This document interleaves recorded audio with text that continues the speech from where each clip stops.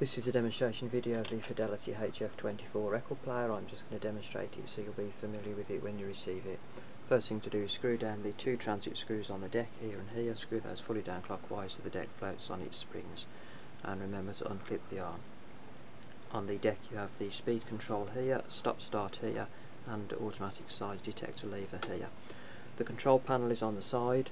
Uh, from top to bottom you have the main on off control then you have treble, bass, and then you have two volume controls. One for the microphone volume, uh, you could get an original Fidelity microphone uh, back in the day which you could use as a sort of early karaoke machine, and the bottom one is the overall volume. It's important to make sure that you have the microphone volume turned down to minimum if not using the microphone um, to eliminate hum.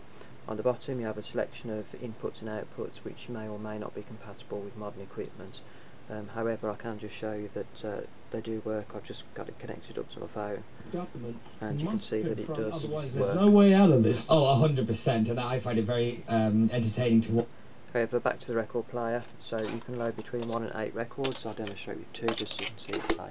Pop the records onto the spindle edge and put the stacker arm across, and flick the right hand control knob all the way around to start the auto changer.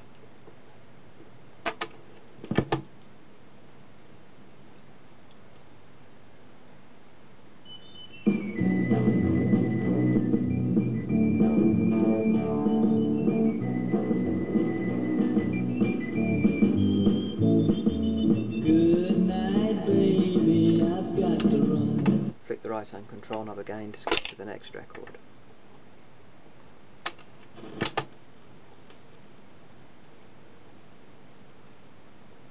So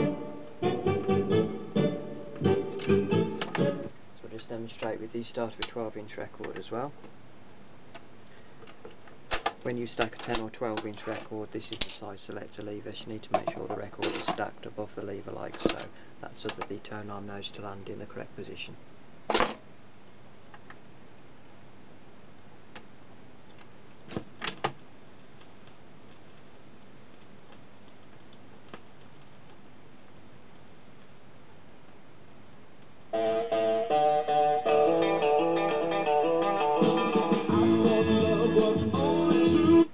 Course the arm lifts off automatically at the end of the record. If you don't want to use the auto changer and just want to play one record manually at a time, you can just place an individual record down the spindle onto the mat. If it's a 7 inch record you can leave the stacker bar up, select auto and the arm goes across to the 7 inch position, or just select manual start and place the arm onto the record yourself. Once the arm is on the record and it's playing, lower the stacker bar down so it knows to switch off at the end, or if you leave it up that triggers a repeat function for 7 inch only and it replays the same 7 inch over again automatically. So hopefully that covers everything but if you do have any questions when you receive it I'll include my email address in with the machine and please use that method to contact